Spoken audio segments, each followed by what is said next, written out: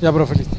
Se trata que en el Congreso de la República, en la Comisión de Educación, el día de hoy, lunes 19 de, noviembre del año 2018, se está debatiendo dos proyectos de ley que tienen por finalidad que los profesores que el año 2014 fueron retirados del servicio educativo por no tener título pedagógico pueden ser reincorporados. Entonces, esto comprende a 14.317 profesores de ese año para la fecha, pero en el, en el transcurso ya muchos han cesado por límite de edad y otros tienen su título y están trabajando.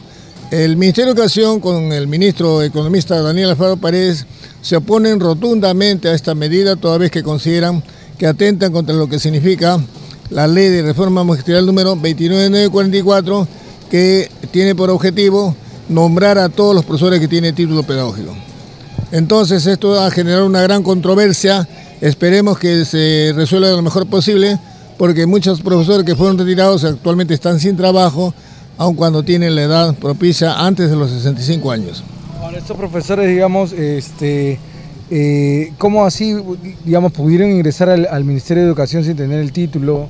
Bueno, la ley número 24029 y su modificatoria viene del año 1984.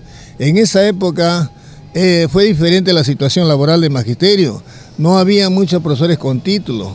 Entonces, las plazas aledañas, las plazas en zona alta, zona rural, fueron cubiertas con nombramiento de profesor interino llamado así, por no tener título. Entonces, recién con la ley de la carrera pública magisterial 2007, ya se estableció que era requisito básico para el nombramiento el título pedagógico y sobre todo con concurso nacional para evaluación de nombramiento.